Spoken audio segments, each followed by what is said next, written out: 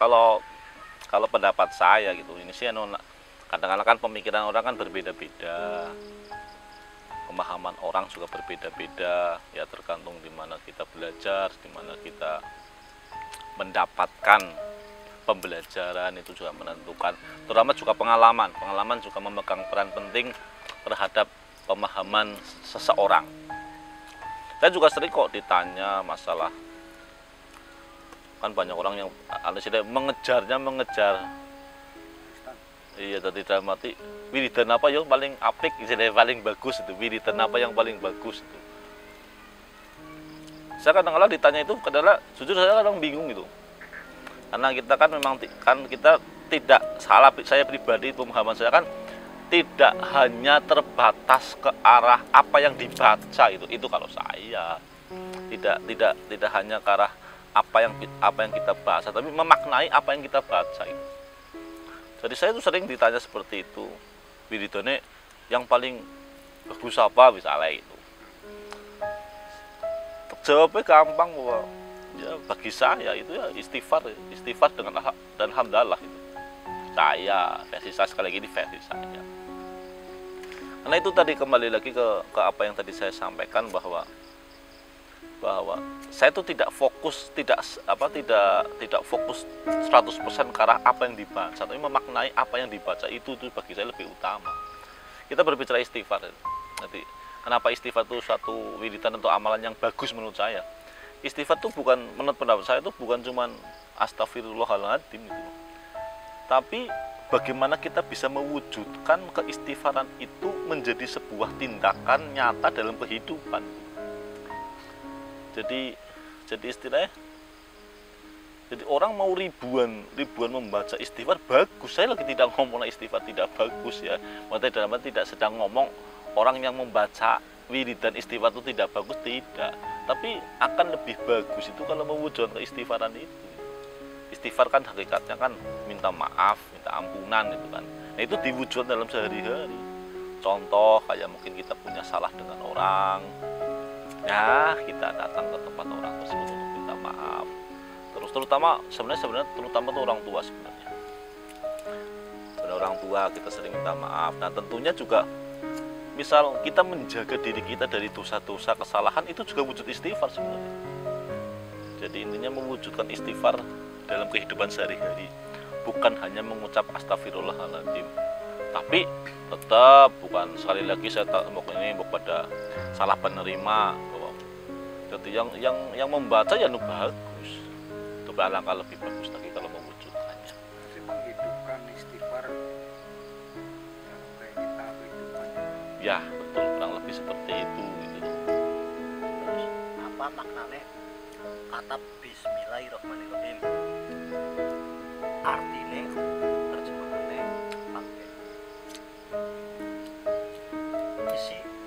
surat kandungan gue. Bismillahirrahmanirrahim. Dong, kalau yang saya pelajari, jadi bahas itu tadi kan urung rampung sebenarnya kan. Sebenarnya Al-Quran hakikatnya kan cuman cuman membahas masalah dalam 30 juz kan ini hubungan manusia dengan manusia dan manusia dengan Tuhan kan. Anaknya mau seperti itu.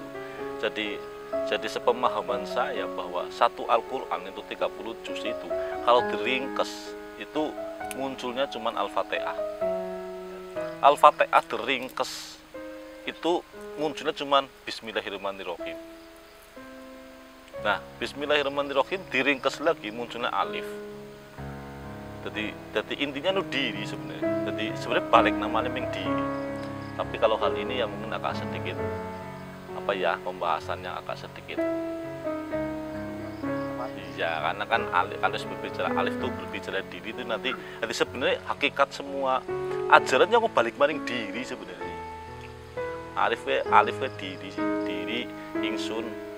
Jadi malah malah malah aku sih malah tidak tidak menjentrehkan Bismillahirrahmanirrahim dengan nama Allah tidak seperti itu. Malah malah malah naik Bismillah itu Bismillahirrahmanirrahim malah diringkes. Diringkes cuma muncul alif dok.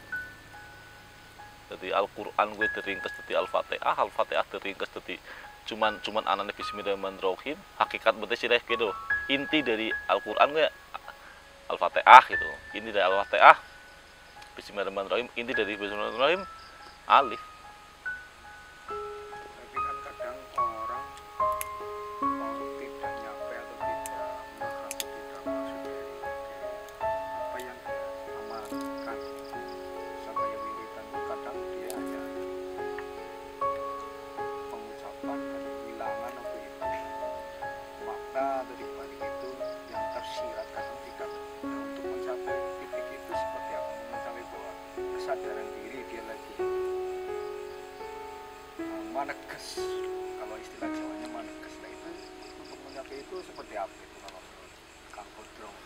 Ya tadi awal juga di- disebutkan bahwa itu memang membutuhkan suatu pemahaman yang lebih mungkin di, ditempa oleh pengalaman sebenarnya. Ditempa oleh pengalaman jadi apa ya saya tuh sering kali ini kayak gini. Saya menggambarkan sering kali kita tuh terjebak dalam suatu frekuensi lah suatu frekuensi pola pikir. Jadi kita kadang-kadang tidak mau keluar dari frekuensi tersebut gitu. Jadi dalam arti pada saat kita istilah kayak kelas-kelasan saja lah kita dalam dalam sekolah kita kelas 3 jadi kita kayak terkungkung di kelas 3 terus itu. Tidak mau masuk tidak mau keluar dari kelas 3 istilahnya. Dan di sini yang memang dibutuhkan ke keterbukaan hati keterbukaan pola pikir dan juga kita di situ juga belajar untuk tidak fanatik. Dan intinya intinya sebenarnya pembelajaran paling gampang ya bagaimana kita bisa melihat satu objek dari sudut pandang yang sangat luas itu loh jadi kalau kita sudah masuk ke ranah itu, nanti kita bakal lebih lebih mudah mencerna apa pun yang sedang kita pelajari. Ya kayak tadi kita sebutkan masalah kayak istighfar tadi, gitu kan. Seperti itu, jadi kita memaknai orang kan mungkin terjebak, maaf ya sih kan sering kali, kayak menjalani istighfar seribu kali misalnya kayak gitu, karena banyak kan tuntunan seperti itu. Saya sering ngomong itu bagus, bukan berarti itu tidak bagus. Tapi lebih bagus lagi, coba istighfar cuma sekali aja, tapi tujuan dalam sehari-hari gitu. kan lebih keren. Pokoknya itu aja eh, tadi kan ngomong awal mula kan hamdalah gitu hamdalah kan wujud bersyukur. Ya wiridan zikiran alhamdulillah alhamdulillah. Bagus tapi jangan wujudkan kehamdalahan itu dalam kehidupan sehari-hari. Kan keren. Bersyukur kan ya sisihkan rezeki dan sebagainya. Menghargai apa yang kita punya. Itu juga wujud hamdalah. Itu kan lebih keren. Nah, itu yang kadang orang kan tidak nyentak atau tidak nyampe di, fase itu. Nah, apakah memang harus ada fase di mana dengan hitungan wiridan alhamdulillah hamdalah atau istighfar yang dipastikan baru dia bisa mencerna itu atau memang harus ada pengalaman atau ada yang mengasih tahu gitu membimbing bab bab ilmu ini ini ini ini juga pendapat ya bab ilmu. Bab ilmu pengetahuan itu memang sulit untuk di, dibikin dibikin apa ya standarisasi gitu loh jadi maksudnya dalam arti kayak ini kalau kita kalau tadi ada ada omongan bahwa butuh pembimbing misalnya ya. Sekarang ada 10 siswa saja dibimbing semua dengan pelajaran yang sama. Belum tentu tampannya sama gitu loh. Jadi dari sini memang memang kualitas diri juga di- ditentukan. Itu tadi bahwa bahwa sebenarnya mungkin kalau kalau kalau pemahaman saya sih ya itu tadi kita dari awal di awal dari belajar untuk untuk melihat sesuatu hal dari sudut pandang yang luas lah. Di contoh misalnya contoh kita kita berempat. Anak sing kopi lagi. Kopi saja misalnya ya kopi sekarang sederhana saja yuk Mas Teguh apa? Melihat kopi. Nah mengko aku ke apa melihat kopi? Oke apa? Mas Apung apa? Jadi misalnya contoh orang yang berkuat yang kualitasnya rendah. Ya rendah lah suka kayak menungsa di sini kemampuannya mungkin belum itu. Mungkin Mas Teguh mungkin melihat kopi hanya cuma sebatas sebatas hitam saja. Aku ngertinya hitam gitu nah mungkin saya aku mending di atasnya Mas Teguh. Aku ngomongnya orang mau hitam tapi seger dinum. Berarti kan saya saya melihat kopi kan dari dua dua sudut pandang. Saya bisa menerjemahkan kopi kan dari dua. Mas Teguh mau siji. Nah kia ternyata lebih gue maning lebih hebat maning. Orang mau hitam orang mau seger diombe tapi bisa ngomongnya bahwa kopi kia apa nggak apa kota kota bawang mumat ya nggak masalah. Berarti kan dia kan memang memang lebih berkualitas dibanding saya. Aku kan orang ngerti gue bawa kopi gue. Kota bawang mumat? Nah apung terakhir. Apa mungkin bisa jelaskan bahwa kopi itu di samping memang ireng hitam seger bisa nambah mumet mas apung mungkin bisa menjelaskan kopi ke mengandung kafein mengandung zat-zat yang memang anasiko kesehatan dan sebagainya. Berarti mas apung sosok orang yang yang lebih berkualitas dibanding kita. Nah, jadi seperti itu itu sebenarnya hampir sama. Kita melihat istighfar, ya tinggal Mas Teguh apa memandang istighfar. Dan itu nanti berbeda-beda itu. Jadi itu tergantung pemahaman kita, belajar kita dan pengalaman kita. Ada ada ada, ada omong sih juga tergantung kesadaran kita. Ya monggo lah itu terlalu terlalu tinggi lah. Pokoknya seperti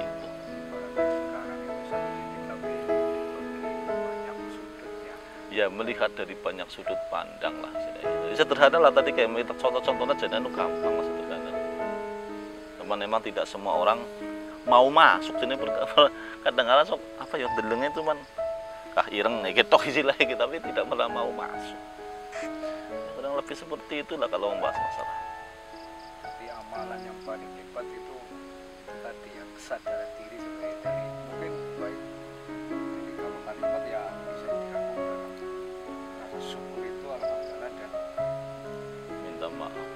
ya Ya tadi ya itu tadi mungkin kalau kalau itu saya tuh jawabannya saya saya saya jawabkan pada orang yang adalah terpaku dengan terpaku dengan apa ya istilah pertanyaan wiridannya apa yo? Tungannya apa yo? dan sebagainya gitu tadi. Udah aku sekali puasa apa istighfar aku sebenarnya kuncinya wong urip kadang-kadang ya kuncinya orang hidup di situ kadang-kadang. Saya saya tuh ngomong aja gitu itu kuncinya kamu pengen kamu kepengen seneng ya di situ kamu kepengen bahagia di situ kamu kepengen ka- rezekinya gangsal ya seperti situ dan sebagainya. Karena ya sekarang apa sih kayak gini loh. Saya tuh sering-sering ngomong sering menggambarkan doa ya. Ini coba kita nu versi sekali lagi ya ini versi saya penggambaran saya. Doa. Doa kan tetap kita yang kita harapkan ujung dari doa kan dikabulkannya doa kan. Nah sekarang kita pelajari bahwa kenapa sih banyak doa yang tidak sampai? Banyak doa yang tidak sampai ke titik dikabulkannya doa.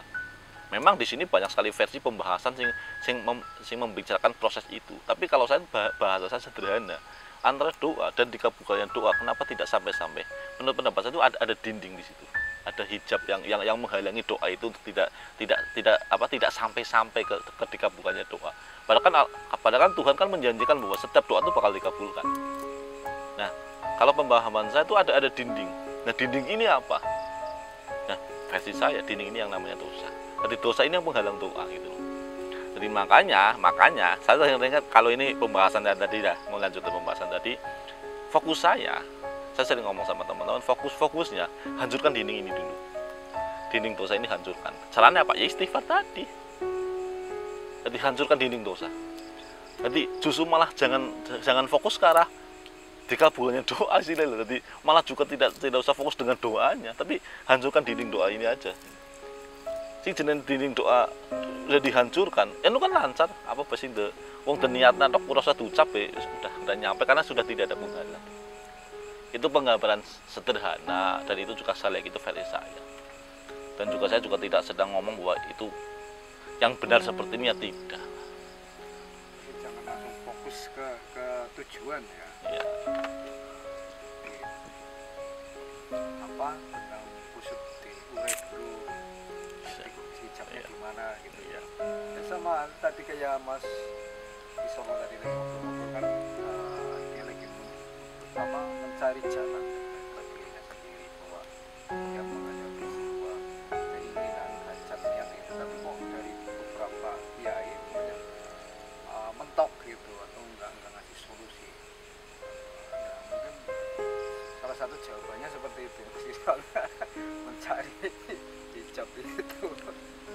tapi memang memang kayak gini sih kita juga maklum. Kadang-kala orang tuh memang kan orang tipikal orang itu memang minta ya dikabulkan itu. Jadi kadang-kala kayak gini kalau ini mungkin kalau, kalau tadi di pertanyaan seperti itu saya tuh menjawab dari versi yang berbeda saja.